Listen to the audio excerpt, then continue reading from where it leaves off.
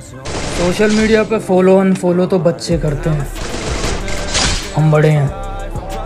हम ज़िंदगी से बाहर करते हैं।